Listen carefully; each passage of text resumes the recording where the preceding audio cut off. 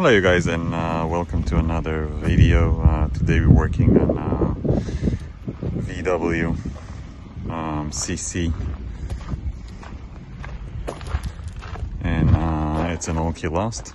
So in this case, um, in order to do the job, uh, we need to take out the glove box and behind the glove box there is that module um, that you're gonna need to take out. So we're gonna take uh, that module out and we will be with you. So when you take that out, um, it's gonna be like this. Make sure you take the plastic cover uh, before so then you can unplug the cables. Uh, don't try to unplug them when it's with it. It's just not gonna go. So we're just gonna unplug them and take them to the bench. Okay, so now we are on the bench. We're going to do the job with the Mini Prog and uh, the key tool. Um, so we're just gonna unclip those four clips and we're gonna get the board. So when we get them out the box, just note right here, there is like clips that holds the board in place. So we're just gonna do it gently to lift this up. So we're just gonna pry it gently. So after wiggling with each one of the connectors to take them out, we're gonna be uh, left uh, with this. And now we're gonna need to read the chip. So we're gonna get connected with the tools and I will show you what we do. So um, in this corner, you're gonna just locate that thing and it will be easier, but this is the chip. So I'm just gonna go closer on him. So that will be the chip that we're gonna read. So we're gonna get connected to this. So in order to read it, we're just gonna go to this screen. We're gonna press select and we're gonna make sure we are connected to this tool. So after we found it, we're just gonna press connect. Then we're gonna go to EEPROM. We're gonna scroll down to ST. And then on ST, we're just gonna see here that the number shows on the chip is 9835P. So we're just gonna find that exact one. So 95320 and we're just gonna choose the pressure. Now make sure you know uh, which one is gonna be uh, number one pin. So we're just gonna locate a small groove.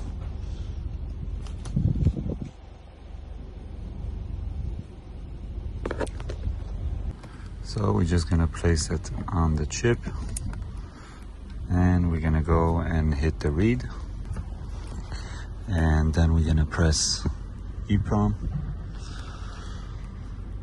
and then we can press on the machine. Start operation.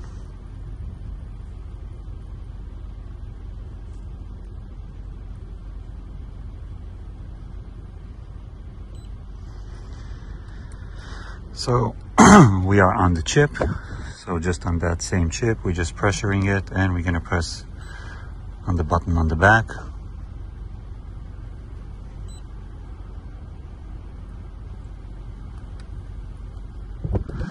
So we read the file, so now we just can name it uh, whatever we like. I'm just gonna put it in a way that I'm gonna remember. And I'm gonna hit OK. Now I'm just gonna go back. So now after we save the file, uh, we're just gonna go back and we're gonna go into the key tool menu. And we're gonna go to um, special functions and we're gonna go to IMMO data tool. We're gonna go Europe. We're gonna go down to VW all the way on the bottom. And here we're just gonna use the Passat and then we can see the chip. So the ID 48 and we're gonna just gonna do start execution. So we're gonna go to the mini prog files. And then we can go by the date. And this is our file. And we can choose key number three so we place the key over here and we're gonna go make dealer key. And we're using a Megamos 48 and we place the key over there. And prepare dealer key success it can start the engine after you write back the dump file. So we're just gonna press ok and we're gonna hit save here. And we're gonna just uh, mark that so this will be the file that uh, we want to write back. So we're just gonna hit save and we're gonna hit OK now we're gonna go back to this menu. We're gonna go EEPROM flash again. We're gonna go ST and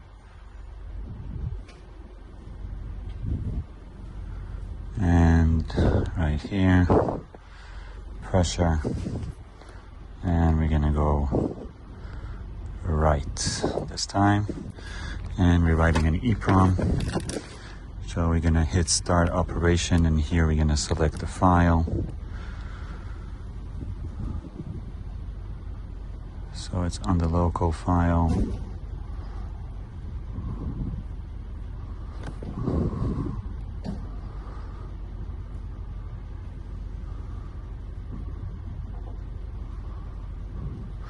and that will be the new file the one with the KK on the bottom on the front. So we're just going to choose that one. And we're going to hit the Chinese over here. And then we're going to take this and we're going to do start operation. And we're going to have it right on top of that. And we're going to hit continue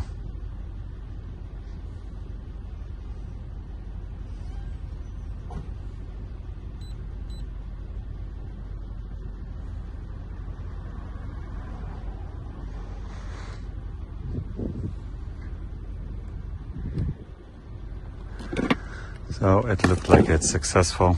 So uh, we're gonna install it back in the car and see if it works. So we have connected back everything in the car and now when we slot the car, the key in, um, it should give us a signal. So we're just gonna go to the driver's seat.